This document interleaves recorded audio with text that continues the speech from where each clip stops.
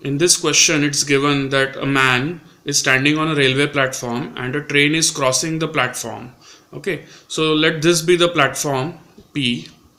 This be the man standing on it. This i'll just denote it by a single line here. And this be the train that is crossing the platform. Okay so when the train crosses the entire platform the total distance that the train covers is the length of the train itself and the length of the platform right. So it will be length of train is t and length of platform is p. So t plus p. This will be the total distance that it covers when it crosses the entire platform. The man notices that the train crosses the entire platform in 20 seconds. So i'll just write it like this in 20 seconds. And the train crosses the man himself. Now the man's length will be considered negligible in this case so when the train is crossing the man it is actually crossing uh, covering a distance of the length of the train itself. So train's length t it takes a time of 8 seconds.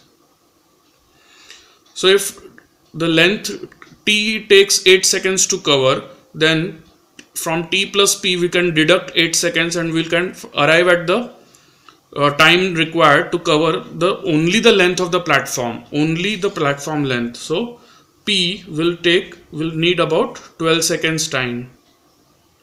That means the length of the platform they have given the length of the platform as 180 meters right?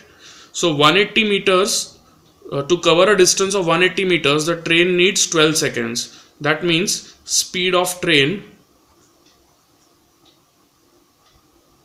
is equal to 180 meters distance divided by 12 seconds time which comes to 15 meters per second right?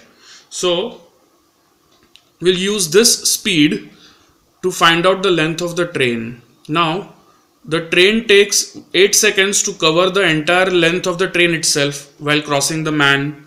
So in 8 seconds the total distance that the train covers will be length of the train itself which will be equal to 15 meter per second multiplied by 8 seconds which comes to 120 meters.